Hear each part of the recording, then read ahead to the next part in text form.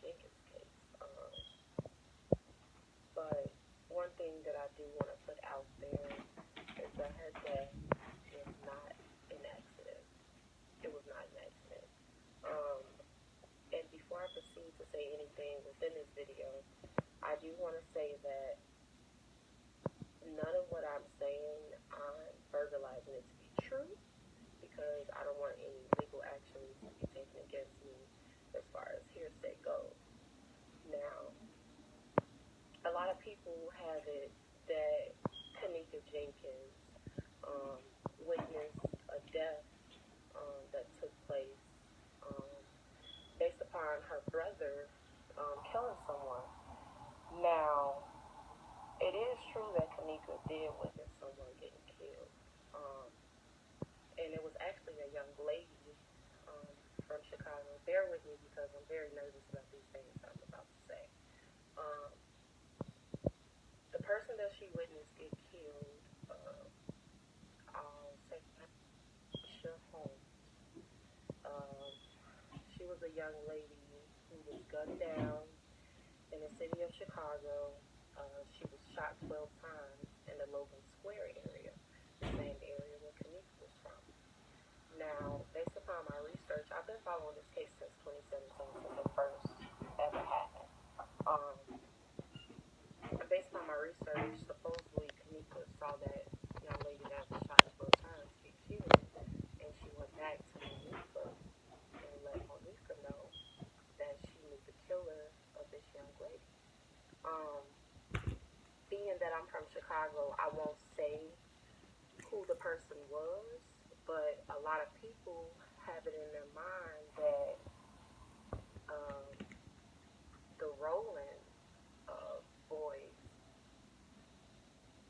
is the person that killed him, but it's another T.Y.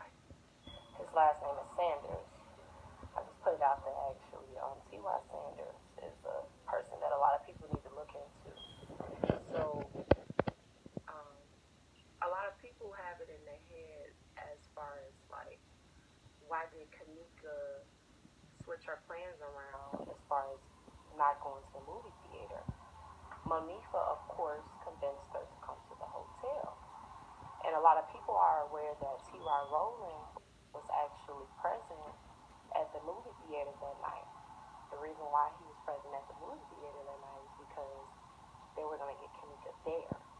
Um, but it was too much of a public area for them to actually carry out the plan there. So it was a switch of plans. A switch of plans was to get her to come to the hotel, which she did go to the hotel. And um,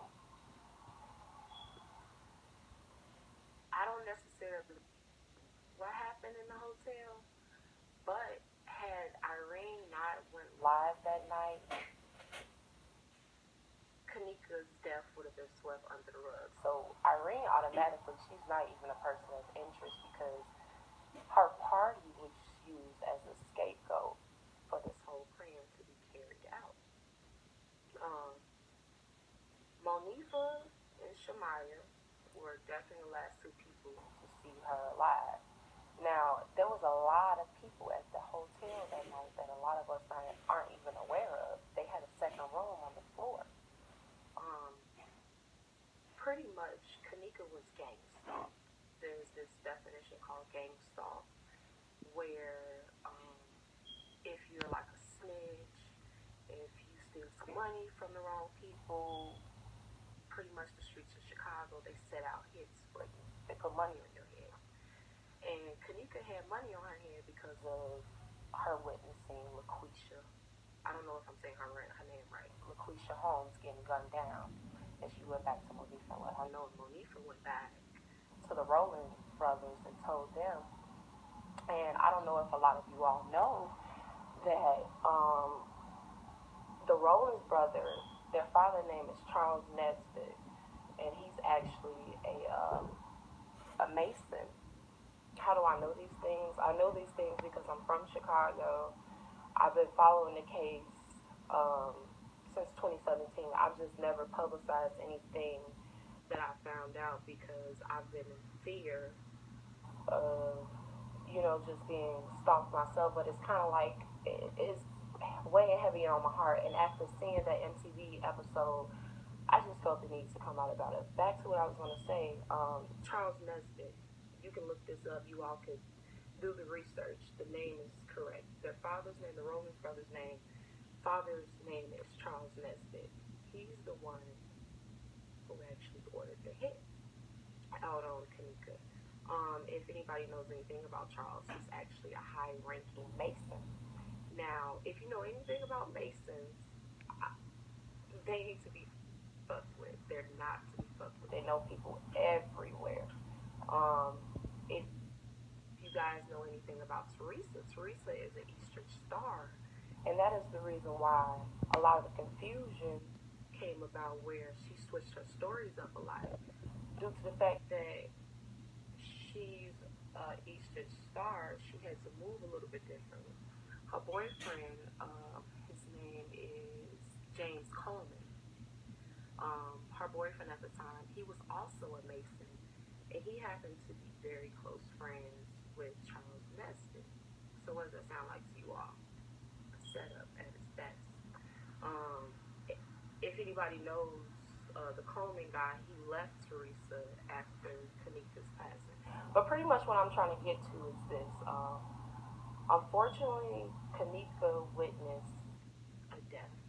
She trusted her friend Monifa. She went back to Monifa, to let her know about this death that she witnessed, and hence was ordered to be out of her head.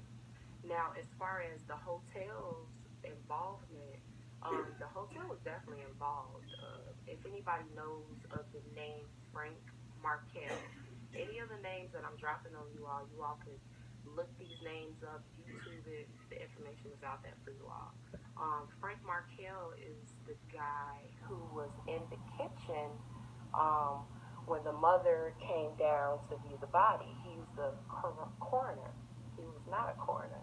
If anybody knows anything about Frank Markel, Frank Markel is actually a worker for a har- organ harvesting uh, facility um, has some associations with the Rosemont place. So, pretty much, how did Frank Markel get in the picture? Okay, so going back to the Rowland's father, uh, what is his name? Uh, Charles Nesbitt. Charles Nesbitt worked on a lot of um, construction projects for the Rosemont area, and I believe he actually helped with some uh, construction projects with the Crowne Plaza Hotel. So he's automatically tied in with the people there. Um, the footage that was released to us as far as seeing Kenneka